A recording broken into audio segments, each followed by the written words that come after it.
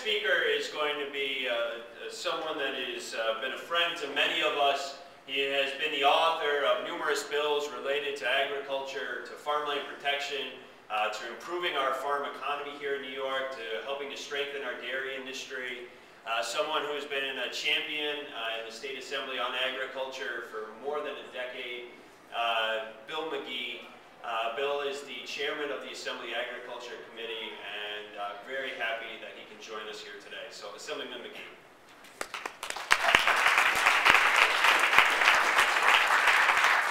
Thank you, David.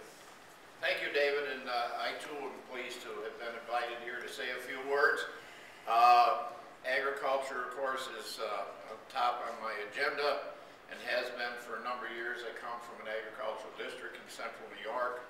I grew up uh, with agriculture, so uh, I know the importance of agriculture. And the uh, uh, importance, uh, you know, there's some things that the governor is presently talking about, trying to connect New York farmers with uh, people in urban, uh, urban areas in the city of New York, and I think that's very important.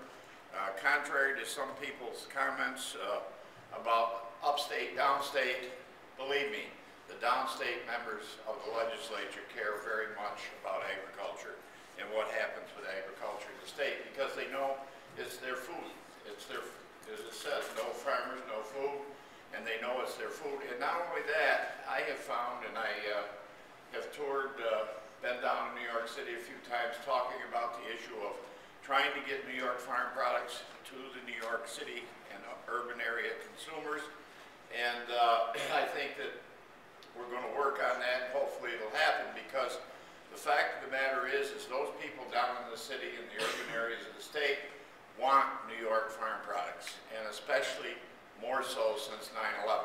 They want to know where their food is coming from, and the other thing about it is too, they're also willing to pay a premium to get those food products, and so we have uh, for years ignored that and not uh, made it happen.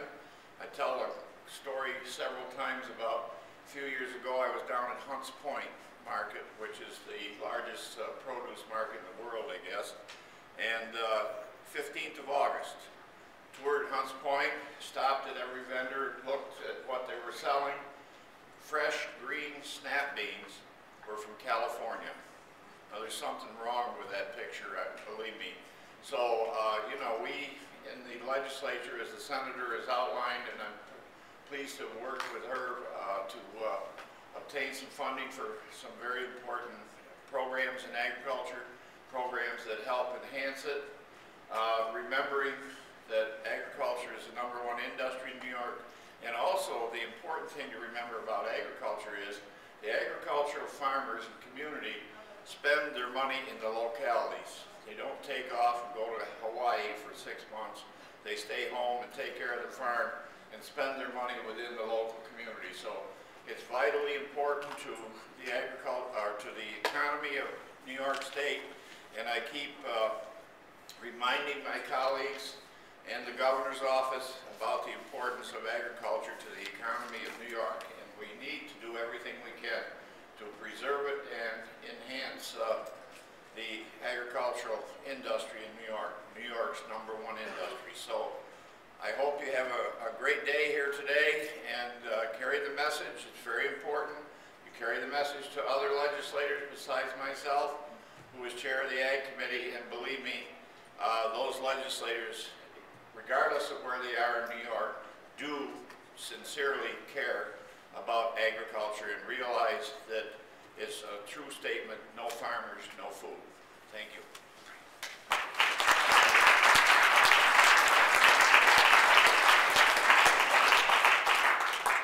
Thank you very much, Assemblyman. And uh, I will say that at a time of uh, very, very difficult uh, state budget circumstances, that our chairs of our Agriculture Committee and our state legislature and our governor worked really hard uh, to sustain dedicated funding for a number of agricultural programs that are part of our agenda today. So greatly appreciate uh, Senator Ritchie and Assemblyman Magee joining us for a few minutes.